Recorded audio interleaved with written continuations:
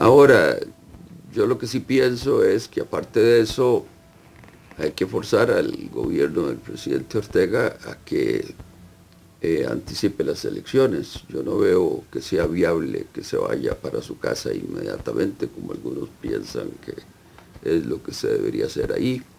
Tampoco creo que es posible que él termine su mandato, porque la violencia va a continuar, las manifestaciones van a continuar, eh, el pueblo nicaragüense se va a seguir lanzando a la calle.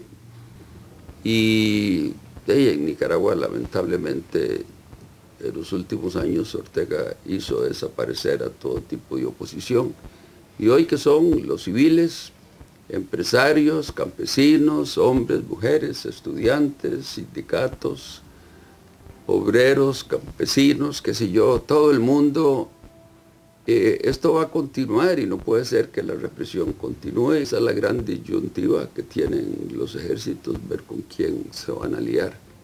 Si van a defender al pueblo indefenso o si van a acompañar al dictador en la violación de los derechos humanos tanto en Venezuela como en Nicaragua.